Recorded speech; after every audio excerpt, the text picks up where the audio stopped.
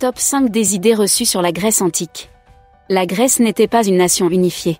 En effet, c'était un ensemble de cités-États autonomes appelés polis. Tous partageaient des valeurs et des cultures similaires, mais sans véritable cohésion. Léonidas et les 300. Le film 300 de Zack Snyder, basé sur la bataille des Thermopyles, a popularisé la légende de Léonidas et ses 300. La démocratie athénienne est loin d'être une source d'inspiration. La démocratie athénienne était un système plus juste que les tyrannies. Cependant, il s'agissait tout de même des débuts de l'apparition de la démocratie. Les Grecs aimaient les couleurs vives. Les artistes de l'époque utilisaient une palette de couleurs éclatantes pour donner vie à leurs œuvres. Les statues, les bâtiments et les navires étaient autrefois des éléments aux couleurs vives. Les Athéniens étaient également bons à la guerre.